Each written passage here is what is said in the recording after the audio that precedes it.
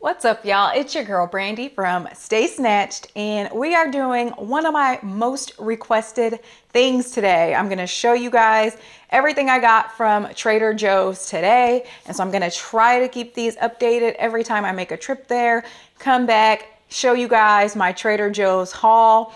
Trader Joe's and Costco are probably staples in this house. Those are two of the places that I'm always at when I need groceries and when I need food. They have, in my opinion, the best organic selection and just high quality products for very reasonable prices. And so I don't remember the price of every single item I bought today, but I always know a little ballpark. So I'll try to share uh, what I got, if I've used it before, how I used it if I've used it before, if I haven't, how I may plan to use it or test it out, and just a rough estimate of how much it cost. So let's dive in. And so this actually, it doesn't look like it was that big of a haul. It kind of was, it kind of wasn't. I have everything here, and then I have some things um, kind of spread out back there. But we'll get started with these uh, fresh cuts. So one things that one thing that Trader Joe's is very well known for.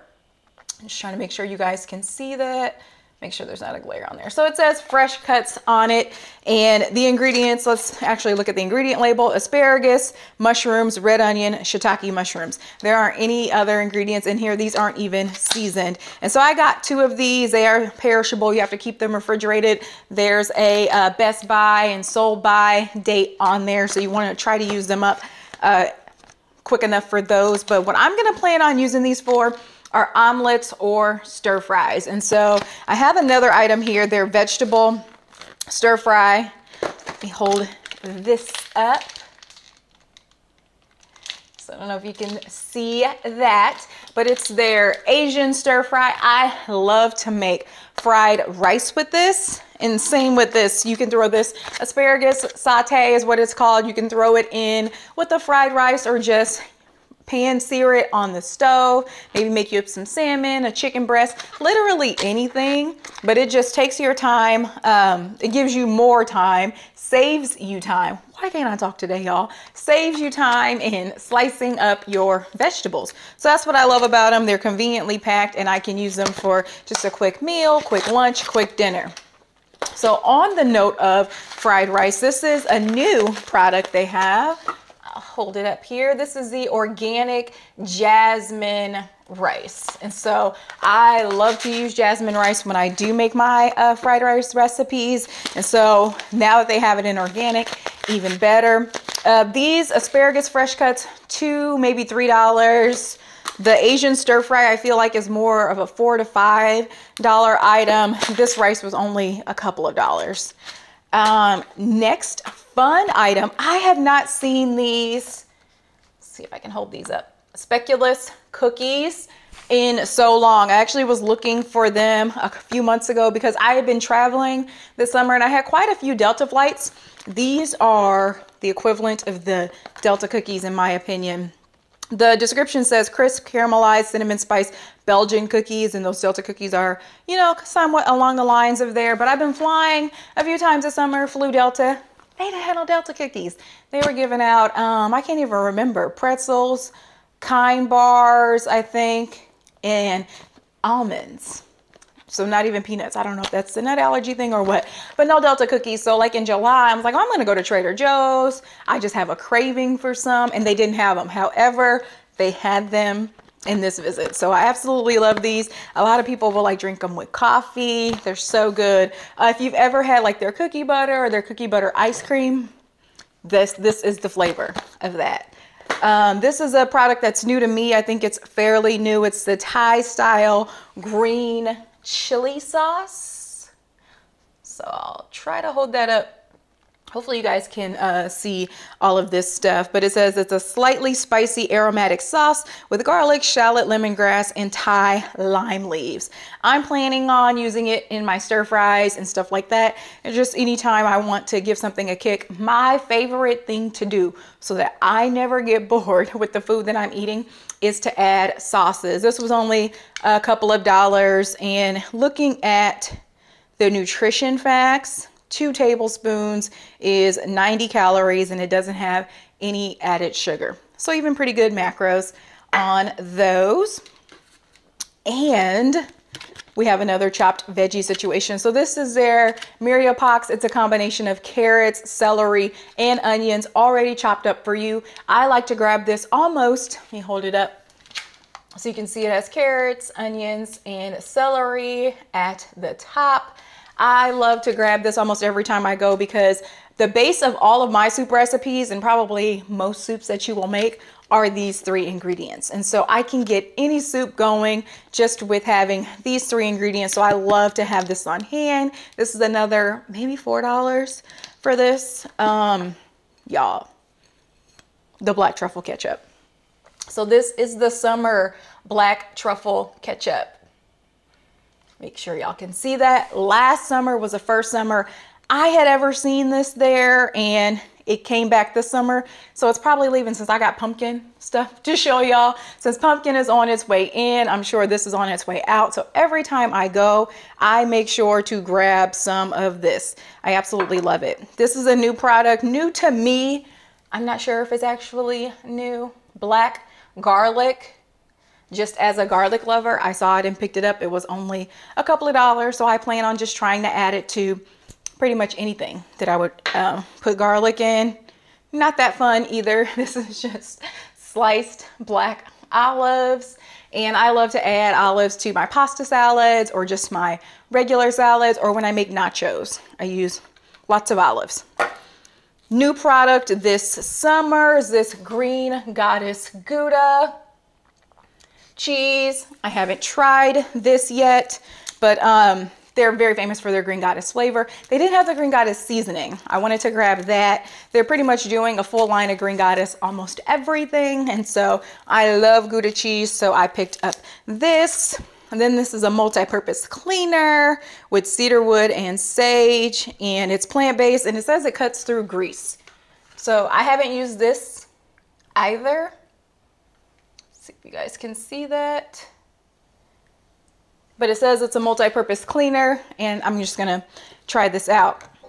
I love getting wines from there. This one's a Cabernet Bogle Vineyards. Looks like is the brand. This was like maybe in the $7 range. And then I've seen Fit Vine. I've never tried it though. I've seen uh, Fit Vine before. It's supposed to be one of those without added sugar type uh, wines. I feel like this was less than $10 as well. It is a Cabernet. So I grabbed that. So before I get to the stuff back there, let's just dive into some pumpkin stuff, y'all. Today, September 7th, I think today's September 7th, was the first day that they were supposed to be doing their pumpkin stuff. Uh, they didn't have a ton of stuff. They, it seemed like they were really heavily focused on like the body stuff and the candles. And then they had a few other pumpkin things intermixed. But this pumpkin body butter, just trying to make sure y'all can see. Uh, I don't remember this uh, being a thing last year, but they have been doing tons of body butters. I am in love with the Brazilian body butter, which is a dupe for the Bum Bum cream, and that stuff sold out quickly. So I'm um, anxious to see what happens with this uh, pumpkin body butter if it does the same thing. I grabbed a couple just because I've tried the cocoa butter one. I've tried the Brazilian Bum Bum one. I bought the grapefruit one, but I don't even know if I got around to using it. But I love them. They're usually really thick and rich. So I figured why not? Uh, those are usually like $5.99, $4.99, $5.99 maybe. And then they had the pumpkin overnight mask. So I'll hold that up. This was another $4.99 one. Um, I got this one because they have a dupe for the watermelon glow overnight mask. And so um, I'm assuming that this is going to be kind of the same thing, but just with pumpkin. So for the description, it says with pumpkin, fruit extract, papaya enzymes, and plant derived squalane, which I'm not sure what that is, but I'll give it a whirl. This is, did I already say? Maybe four or five bucks?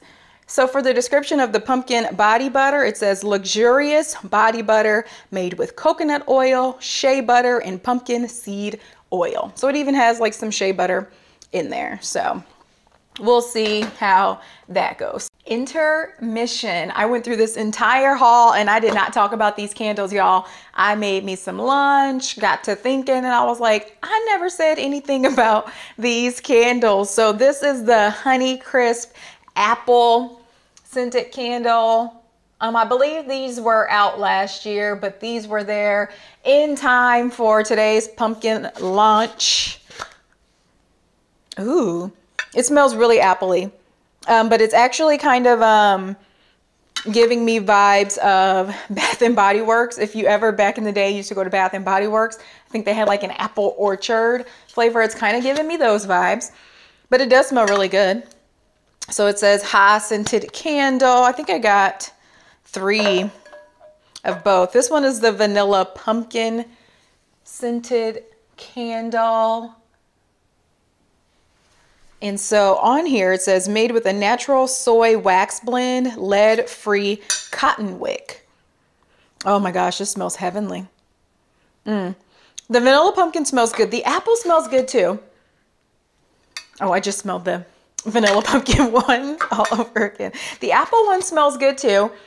It does smell really appley. It just really gives me the nostalgia of that Bath and Body Works stuff.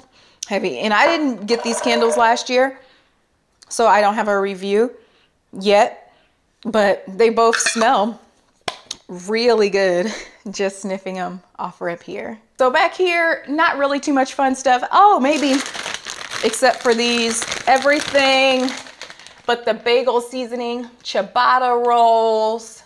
Um, I tried these before.